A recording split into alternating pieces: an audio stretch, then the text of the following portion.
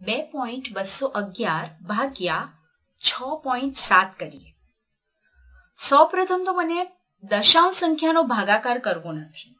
આથી હું આથી હું છ પોઈન્ટ સાતને દસ વડે ગુણીશ, જે આ દશાંશ ચિહ્નને જમણી બાજુ એક સ્થાન ખસેડવા બરાબર છે.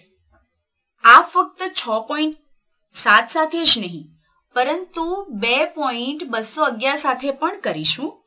આથી બે પોઈન્ટ બસો અગિયારમાં દશાંશ ચિહ્નને એક અંક જમણી બાજુ ખસેડવાથી આપણને આથી બે પોઈન્ટ બસો અગિયારમાં દશાંશ ચિહ્નને એક અંક જમણી બાજુ ખસેડવાથી આપણને બાવીસ પોઈન્ટ અગિયાર મળે છે. આપણે અહીં લખીએ. બાવીસ પોઈન્ટ અગિયાર ભાગ્યા અહીં છ પોઈન્ટ સાતને બદલે સડસઠ લખીશું. હું અહીં દશાંશ ચિહ્ન લખી શકીશ, પરંતુ એનાથી કશો ફરક પડતો નથી. હવે આપણે ભાગાકાર કરવા તૈયાર છીએ. એમ કહી શકાય કે આપણે પૂર્ણ સંખ્યા વડે ભાગાકાર કરીએ છીએ. જુઓ, અહીં તો દશાંશ ચિહ્ન છે, પરંતુ તે અવગણી શકાય એમ છે. હવે આપણે ભાગાકાર કરીએ. હવે તમે કહેશો કે અહીં આ દશાંશ ચિહ્ન છે, પરંતુ તે અવગણી શકાય એમ છે, જે તમે હમણાં જોશો. આપણે અહીં લખીએ થોડા મોટા અક્ષરે, બાવીસ પોઈન્ટ અગિયાર, ભાગાકારની નિશાની, ભાગ્યા સડસઠ.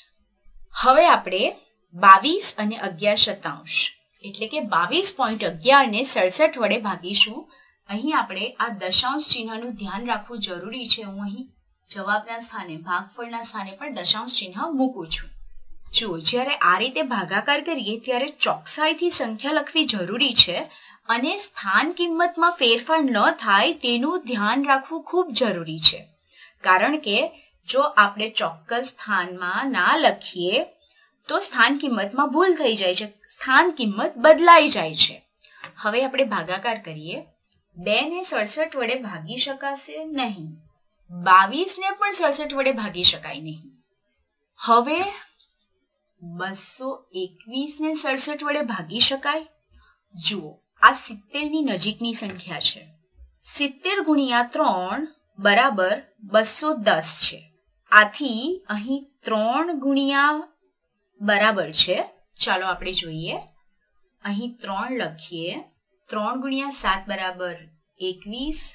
બે વધી ત્રણ ગુણ્યા છ બરાબર અઢાર વત્તા બે બરાબર વીસ. આથી આપણને અહીં બસો એક મળે છે. અને બસો એકવીસ ઓછા બસો એક અહીં શૂન્ય, અહીં બે, અહીં શૂન્ય. અહીં ત્રણ એ સાચી સંખ્યા છે. જો ત્રણ ગુણ્યા સડસઠ એ બસો એકવીસથી મોટી સંખ્યા હોય તો તકલીફ છે.